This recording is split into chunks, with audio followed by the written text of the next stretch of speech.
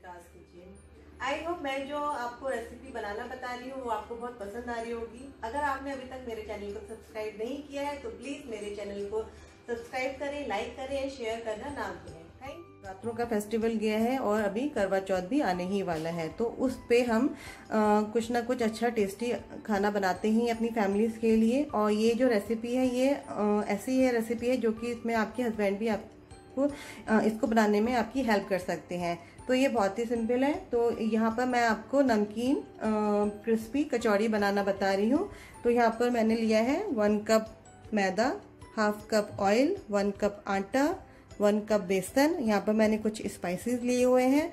One tablespoon सौफ powder salt as per your taste one tablespoon chaat masala one tablespoon अजवाइन half tablespoon garam masala one tablespoon coriander powder, half tablespoon red chili powder. Red chili powder अपने taste के हिसाब से कम ज़्यादा कर सकते हैं।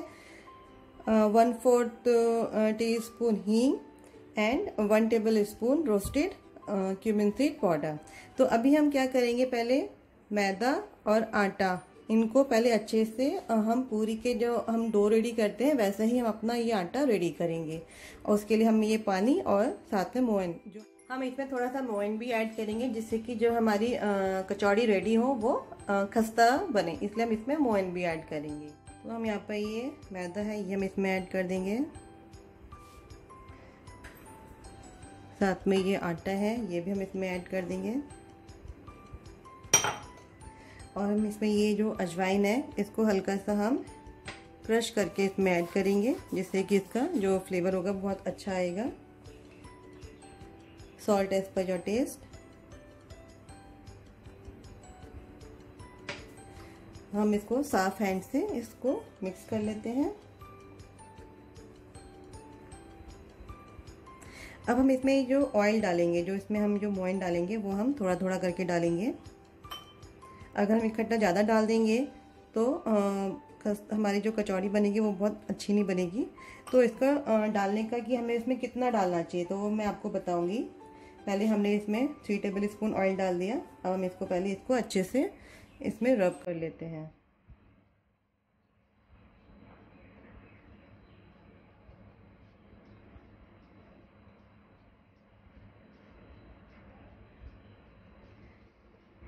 इसमें जो हम ऑयल डालेंगे उसका आइडिया हम ऐसे लगा सकते हैं कि जब हम ये ऐसे इसको उठाएँ तो ये ऐसे एक बॉल की शेप में, यानी कि एकदम बन जाना चाहिए। तो अभी ये बन नहीं रहा इट मीन्स कि इसमें अभी ऑयल और पड़ेगा।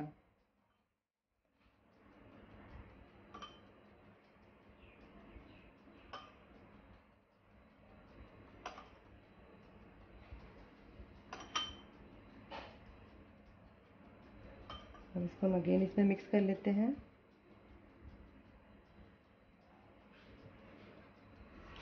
हमने इसमें करीब 12 टेबल स्पून ऑयल ऐड किया है और थोड़ा सा पानी डाल के हमने पूरी के जैसे टाइट डो रेडी कर लिया। अगर हम टाइट डो रेडी नहीं करेंगे तो कचौड़ी अच्छी नहीं बनेगी। अब हम इसको कवर करके रख देते हैं जब तक कि हम अपना मसाला रेडी करेंगे। के अंदर कचौड़ी की फिलिंग रेडी करेंगे। तो यहाँ पे हमने ये बेसन ले लिया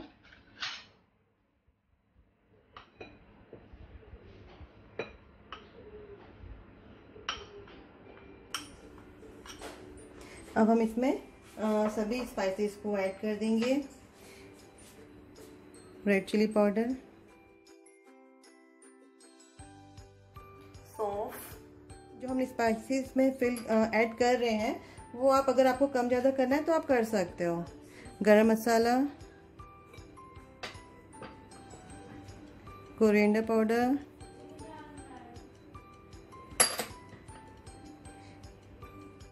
चाट मसाला हमने ऐड कर दिया।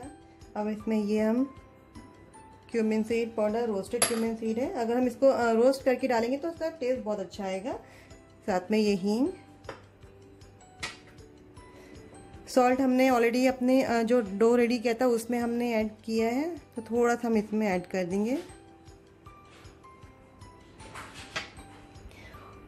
ये देखिए, हमने सभी को अच्छे से मिक्स कर लिया। अब हम इसमें ये टू टेबल स्पून इसमें हमने ऑयल ऐड किया। ये देखिए, इसमें हमने सभी स्पाइसेस को ऐड कर लिया। हमने इसमें थोड़ा सा ऑयल भी ऐड कर दिया, जिससे कि जब हम अपनी कचौड़ी में इसकी फिलिंग करें तो अच्छे से फिल हो जाए और इसमें स्टक भी हो जाए। बस हम इसमें टू टेबल स्पून हम इसमें वाटर ऐड कर देंगे।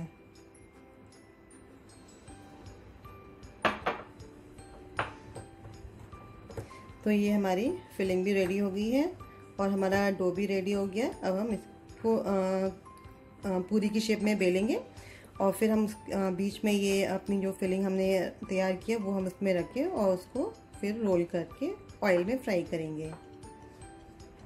देखिए हमारी फिलिंग रेडी हो गई। हमने ये ऐसे छोटी सी एक लोई ले ली। अब हम इसको थोड़ा सा रोल कर लेंगे। हमें बहुत बड़ी नहीं करनी है। हमें बस ना बड़ी, ना छोटी, बस मीडियम साइज़ की हमें ये ये ऐसे हमें अपनी पूरी जैसे हमें इसे रोल करना है। ये हमने ऐसे रोल कर लिया। अब हम क्या करेंगे, जो हमने स्टफिंग अपनी जो रेडी करी है, हम यहाँ पे बीच में ये इसको रखेंगे। हमें बहुत ज़्यादा फिल नहीं करना है अदरवाइज़ जब हम इसको रोल करेंगे तो वो फट जाएगी। तो हमने ये ऐसे थोड़ा सा लेकर इसको ऐसे फिल कर लिया। अब हम इसको ऐसे क्रॉस करते हुए इसको हम, ये ऐसे करते हुए हम इसको बंद कर लेंगे। और इसको अच्छे से पोटली स्टाइल में हम इसको ऐसे रोल कर लेंगे। ये देखिए इस टाइप से, ऐसे। ये सब अच्छे से अब ये बंद हो गई। अब हम इसको रोल करेंगे। देखिए, ये हमने ऐसे, हमें जब रोल करेंगे तो बहुत बड़ी नहीं करनी है, क्योंकि बहुत बड़ी करेंगे तो वो देखने में प्रेजेंटेबल नहीं लगेगी। तो हमें बस छोटी सी ये अपनी कचौड़ी को रेडी करना है। तो ये देखिए ये ऐसे।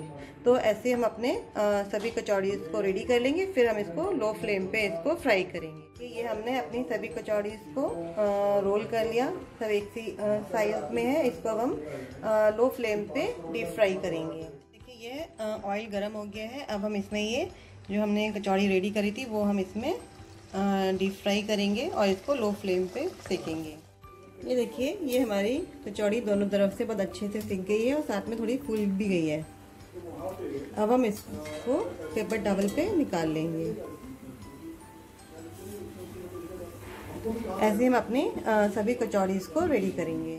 तो देखिए, हमारी ये नमकीन क्रिस्पी कचौड़ी रेडी हो गई है। ये बनाना कितना ही आसान था, खाने में बहुत टेस्टी भी है। इसको आप मैंने यहाँ पे मीठी चटनी ली हुई है। आप चाहो तो ग्रीन चटनी या केचप भी ले सकते हो।